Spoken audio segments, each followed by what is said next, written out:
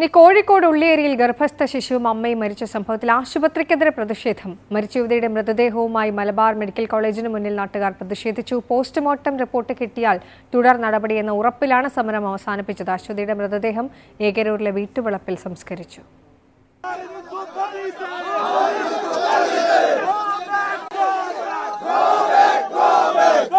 Kozhikode medical കോളേജിൽ postmortem കഴിഞ്ഞ മൃതദേഹവുമായാണ് നാട്ടുകാർ അത്തോളി മലബാർ മെഡിക്കൽ കോളേജിന് മുന്നിലെത്തിയത്. അശ്വതിയുടെ മൃതദേഹവുമായി ആശുപത്രിക്ക് മുന്നിൽ പ്രതിഷേധിക്കാനായിരുന്നു നീക്കം. റോഡിൽ ബസ് കുറുകയിട്ട് പോലീസ് ആംബുലൻസും പ്രതിഷേധക്കാരെയും തടഞ്ഞു. പോലീസുമായി വാക്കുതർക്കവും ഉന്തും തള്ളും.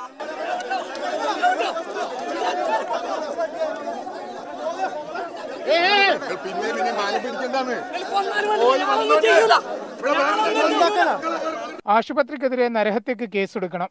വീഴ്ച വരുത്തിയ ജീവനക്കാർക്കെതിരെ നടപടിയെടുക്കണമെന്നായിരുന്നു ആവശ്യം. പിറകെ പ്രതിഷേധക്കാർ കോഴിക്കോട് പേരാമ്പ്ര റോഡ് തടഞ്ഞു. ബന്ധുക്കളും സമരക്കാരും ഹോസ്പിറ്റൽ മാനേജ്മെന്റ് പ്രതിനിധികളുമായി നടത്തിയ ചർച്ചക്കൊടുവിലാണ് പ്രതിഷേധം അവസാനിപ്പിച്ചത്. ഞാൻ നരഹത്തിക്ക് നരഹത്തിക്കുള്ള അന്വേഷണം എനിക്ക് വേണം. അവർ അവർ പറയുന്നത് അവർ ഭയങ്കര ഇതാണ് ലെവലിലാണ് അവർക്ക് എന്ത് സാധിക്കും. അവർക്ക് എതിര് എതിരല്ല അവരെ ഇനി ഇനി ഇങ്ങനെ എന്തിനു വെച്ച് ഇവർ അറിഞ്ഞുകൊണ്ട് വെച്ചതാണോ എന്നാണ് എനിക്ക് അറിയേണ്ടത്. പ്രാഥമിക ഇത് മെഡിക്കൽ ബോർഡ് കൂടിയതിനു ശേഷം പോസ്റ്റ്മോർട്ടം റിപ്പോർട്ട് വന്ന് മെഡിക്കൽ ബോർഡ് കൂടിയതിനു ശേഷം എന്ത് ചെയ്യും? പ്രാഥമിക അന്വേഷണം കഴിഞ്ഞതിന് ശേഷം നരഹത്യക്ക് കേസെടുക്കാമെന്നാണ് ഡിവൈഎസ്പി പറഞ്ഞത്.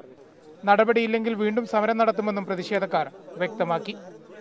Asianet News Kozhikode.